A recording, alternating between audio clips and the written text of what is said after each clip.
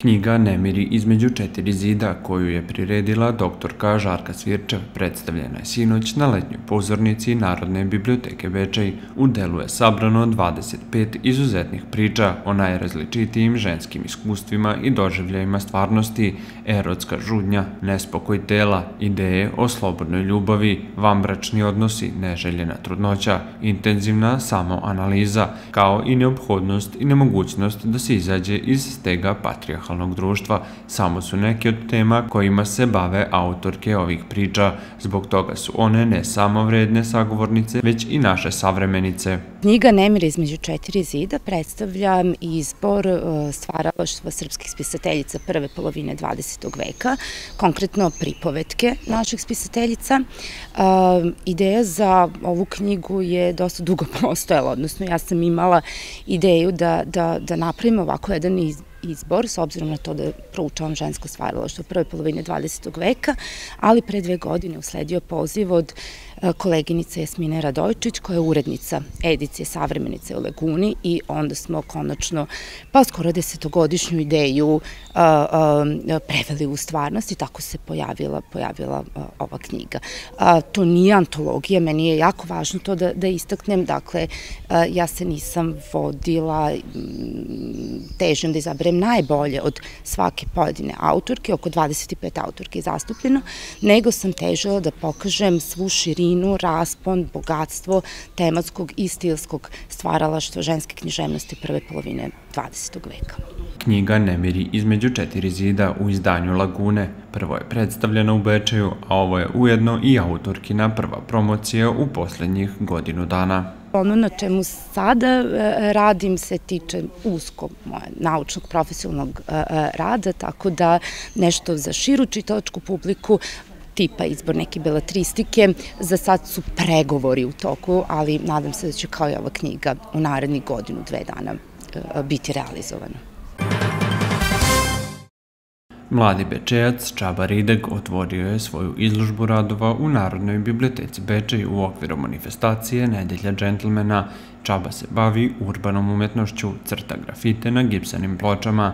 Ideju je, kaže, dobio u Novom Sadu posmatrajući grafite i murale na zidovima tog grada. U svom stvaralaštvu koristi sprejeve i šablone koje sam izrađuje. Slike se izrađuju brzo i imaju lepe detalje, objašnjava mladi umetnik. Moja tehnika je stencil radovi, znači to bukvalno prevodi se na šablone.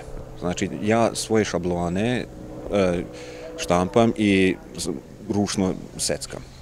I onda to, posle toga se, sve se sastavi i farba se. To znači brzo, brzo i efikasno i detaljno se iz, izađe slika. Ali kad radimo freehand, znači slobodnom rukom, to onda druga priča. Znači to onda ve, treba veća površina, zidovi, ali to sam teško, teško se radi. Bečejac u svojoj kolekciji ima stotine radova koji su nastali u prethodne tri godine. Baveći se ovom umetnošću vremenom je napredovao, usavršio tehniku i iskristalisao svoj stil. Posebno mu je primamljivo ukrašavanje fasada, mada je za taj poduhvat potrebna dobra ekipa, ali i dosta vremena. Planiraš li neki radi u Bečeju da osvane neki veliki mural? E, planiramo, ali vidjet ćemo šta će biti. Da li ćemo dobiti da. Znači odgovor da bude da. Svi zainteresovani izložbu Čabe Ridega mogu pogledati u foajeu Narodne biblioteke Bečej do petka. Opširnije o Čabinim radovima, tehnikama i planovima pogledajte sutra u emisiji Bečejski ugao koja se emituje na našem kanalu od 20 časova.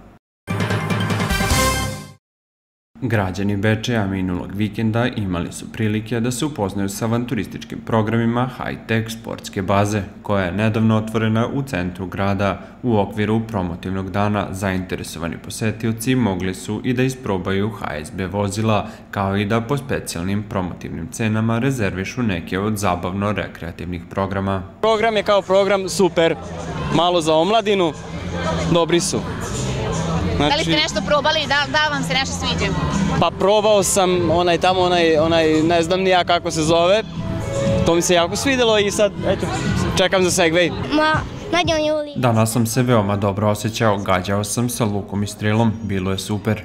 ja mislim da je i takako falilo ovako nešto ovoj gradiću koji, ja mislim, nezaslužno nema e, puno, e, puno e, stvari i e, ovo je izvanredna e, prilika e, danas ovde da se probaju neke od ovih novih aktivnosti. HSB treneri su zainteresovanim građanima pokazali kako se upravlja Segveom, Rangerom, e-bajkom, Hilldogom, e-kosterom, Ujedno mogli su da isprobaju neke od grupnih programa, poput borbe mehurima, borbe lukom i strelom, laserske puške. HSB je počeo nedavno sa radom pre nekoliko nedelja u Bečeju i ona ima oko 30 različitih programa koji su, koji su neke, neke su outdoor programi, što znači da se održavaju na polju, dakle na kopnu ili u vodi, ima vrlo, mnoštvo vrlo atraktivnih programa i većina naših vozila su high-tech sprave i što je vrlo bitno da, da naglasimo, to su vozila koje su eco-friendly, one su električne, zagađuju zagađuju prirodu.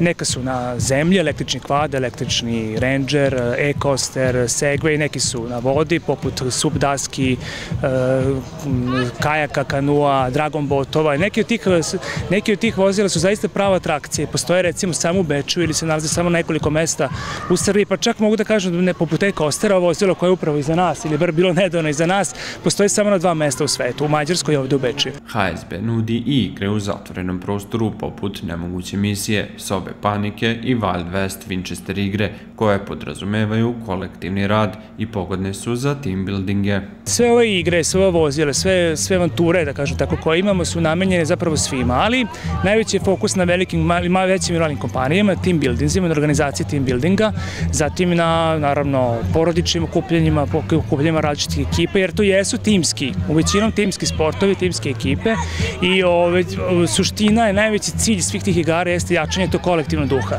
Čak mogu da kažem da se neke igre, pogotovo unutrašnje indoor igre, ne mogu ni rešiti ako nema tog zajedničkog kolektivnog duha, ako ne rade kao ekipa i kao tim. A to je suština većina ovih igara. Naravno, postoje individualne sportove i postoje individualne igre gde mogu da učestvuju samo dve ili tri osobe i ono što je jako bitno da kažemo, e, ni jedna od ovih igara ili vozila ne može da, da se koristi bez trenera. Mi imamo obučene trenere koji kroz ove sve avanture vode naše buduće goste. U ponudi su takođe i letnji programi u okviru kojih zainteresovani mogu da uživaju na tisi tokom najtoplijeg perioda godine, vožnja kajaka, kanua, sup taski, jet skija, vožnja na gumenim krofnama i sofama koja vuče čamac, sve dodatne informacije vezane za sportsku bazu, programima, osiguranju, kupovini vouchera i drugom možete dobiti i na sajtu hsb.rs. Deseto veteransko prvenstvo Srbije u stonom tenisu u Bečeju okupilo je rekordan broj takmičara. Za učešće se prijavilo 89 igrača, dok je na stolovima u sportskom centru snage odmerilo njih nešto više od 80. Domaćin susreta bio je Stonoteniski klub Bečej koji je ovaj događaj organizovao sa Stonoteniskim savezom Srbije i Stonoteniskim udruženjem veterana Srbije. Ovo je jubilarno deseto prvenstvo zvanično veterana Srbije Prošle godine, nažalost, nije održano iz e, dobro poznatih razloga pandemije COVID-19. Možda baš zbog ove, da kažemo, ovaj, cele te situacije su, mislim da je ovo najbrojnije do sada prvenstvo koje, koje, se, koje se održalo. Prijavljeno je 89 takmičara, što je najveći broj do, do, ovaj, do sada. nažalost, nisu se svi odazvali ovaj, iz raznoraznih razloga, ali preko 80 takmičara je prisutno i to je ono što, što raduje. Naravno, ljudi su verovatno se zaželeli malo stonog tenisa, pa su zato i malo većem broju i došli ovaj, i odazvali se ovaj, na takmičenje. Inače je Bečej poznat kao dobar domaćin veteranskih turnira, da ne pričamo o Kolenica kupu koji je u ovim prostorima zaživeo kao jedan od najmasovnijih, najuticajnijih turnira, a isti ti ljudi e, zajedno sa mnom evo organizujemo i prvenstvo države za veterane koje moram opet da ponovim da se organizuje po deseti put. Znači prvo prvenstvo države je bilo 2011. godine, ovo bi po nekom tom redu bilo 11. ali s obzirom na e, epidemiološku situaciju nismo mogli da organizujemo ovako prvenstvo prošle godine, pa je ove godine eto to deseto jubilano prvenstvo.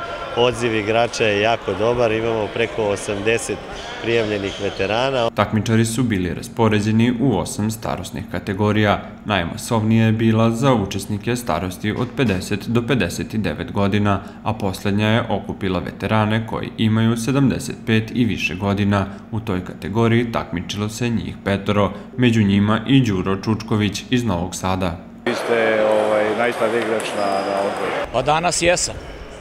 Ima još starih igrača od mene, ali valjda ih nije pustila mama da dođu da igraju. Šta očekujete na ovom, na ovom? Druženje sa, sa starim drugarima. Jel prvi put učestvujete? Ma, više struki učesnik i prvak Srbije i Balkana i Srbije, Vojvodine, a i, i u Švedskoj sam na Evropskom osvojio medalju u dublu sa Nemcem jednim. Kako vam se čini organizacija ovog? Organizacija je super, kao i uvek. To su poznati ljudi, uvek isti veterani, entuzijasti koji vole stoni tenis, vole svoje drugare i to je osnovno druženje ovde. Organizator je dobar, a malo su ljudi uželeli ovaj, druženja i dobrih utakmica, tako da ovaj, smo zato i došli. Kako su vaše očekivanje? Moje očekivanje prvi put sam u kategoriji 60+, plus, tako da možda sad i nekog povedim. Tako da ovaj, sad sam perspektivan u toj kategoriji. Zbog planiranih radova na elektrodistributivnoj mreži, sutra će doći do prekida u snabdevanju električnom energijom potrošača u Bečeju. Od 9 do 10 časova bez struje će ostati zelena ulica od broja 29 do 41, od 9 do 12 časova zelena ulica od broja 43 do 71. U slučaju loših vremenskih prilika radovi se odlažu.